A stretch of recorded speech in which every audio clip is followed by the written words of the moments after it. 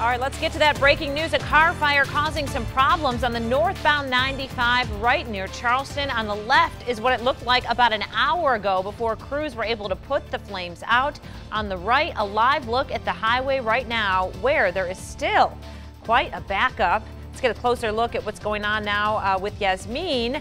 Obviously, quite a mess from the beginning and still going on. Yeah, Dana, this was actually reported just about an hour ago, and it is still bumper to bumper traffic out there. So let me show you the area on the map. Again, it's northbound 95 right near Charleston, but you can see the backup all the way out to Tropicana right now. So bumper to bumper traffic, specifically in that northbound direction. You're also seeing a little slowdown southbound, but that's just people trying to figure out exactly what's going on. Here's another live look at the area. So you can see multiple lanes are blocked off in that northbound direction.